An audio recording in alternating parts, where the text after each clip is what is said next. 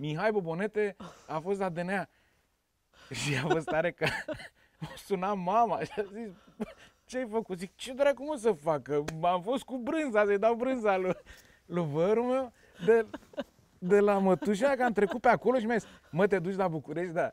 Stai să spun și eu mustangul ăsta, o gălată de brânză, să duci și lui ăsta acolo. Și a zis, pe unde? Și eu l-am tot sunat și am zis, bă, vină mă să-ți dau brânza. Și mi-a zis, dragul să mai am, n-am timp, nu știu ce. Și a zis, vină, adu la servici.